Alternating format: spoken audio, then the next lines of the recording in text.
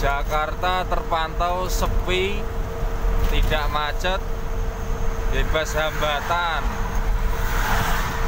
lancar. Tidak sambil permai ya. Oke, sambil bermain.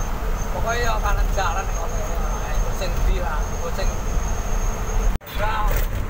Masih bersama driver muda, selamat pagi. Jakarta terpantau hari ini kondisinya macet, mendung, berawan, tapi tidak hujan.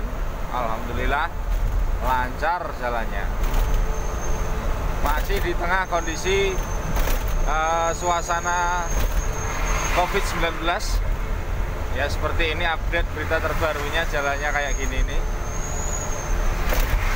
Selamat pagi dan selamat beraktivitas bersama saya melaporkan di sini.